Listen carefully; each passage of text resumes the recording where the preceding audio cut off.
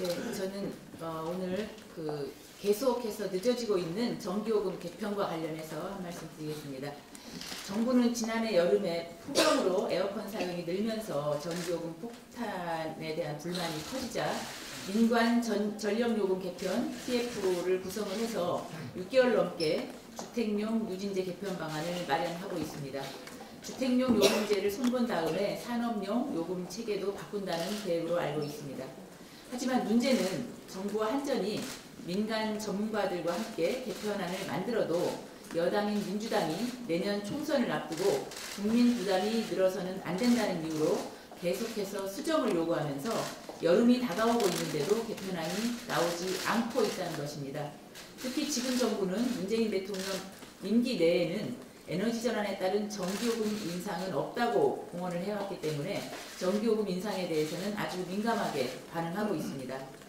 물론 많은 국민들은 현재의 전기요금 수준이나 누진제에 대해서 불만이 많은 것으로 나타났습니다. 저희 의원실과 전기협회가 리얼미터에 의뢰해서 실시한 전기요금에 대한 국민 인식 조사에서 전체 응답자의 55%가 전기요금이 부담된다고 응답했습니다.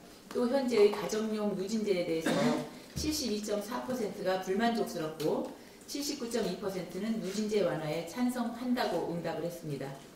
전기는 공공재 성격이 크지만 국가에 내는 세금이 아닙니다. 사용한 만큼 지불해야 하는 요금입니다. 요금은 여론만으로 결정될 수 있는 문제가 결코 아니고 합리적으로 결정을 해야 합니다.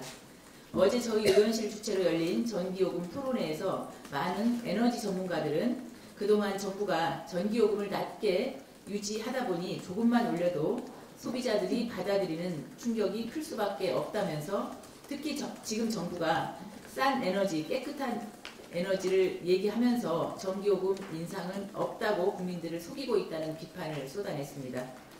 전기요금과 에너지 전환은 뗄래야 뗄 수 없는 관계입니다. 지금이라도 정부와 여당은 환경과 안전이라는 가치를 위해서 합리적인 대가를 지불해야 한다고 국민들에게 솔직하게 얘기를 해야 합니다.